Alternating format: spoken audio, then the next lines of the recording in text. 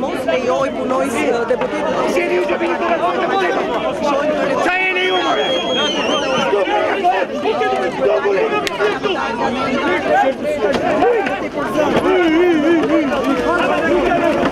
Këto episode dhune ndaj policisë së shtetit në Kuvend i kushtuan hetimin gjashtë deputetëve të Partisë Demokratike, kryesuar nga kreu i grupit parlamentar Gazmend Bardhi, bashkë me të Policia referoi për hetim në gjendje të lirë në SPAK Flamur Nokën, Bledion Nallbatin, Dash Sulën, Luan Baçin dhe një deputete grua, Sorina Koti. Nga Shkodra, ministri i brendshëm Ervin Hoxha dënoi aktet e dhunës së deputetëve të opozitës ndaj policëve.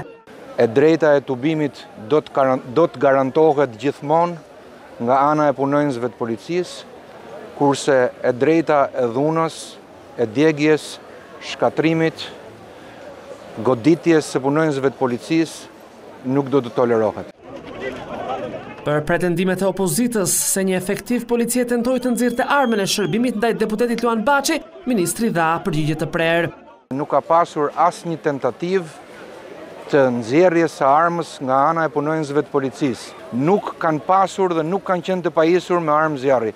Nga ana tjetër Gazmend Bardhi, në emër të opozitës, kërkoi të gjendet se kush urdhëroi hyrjen e forcave policore brenda në oborrin e Kuvendit, kur aty ishin edhe deputetët në përfundim të seancës plenare.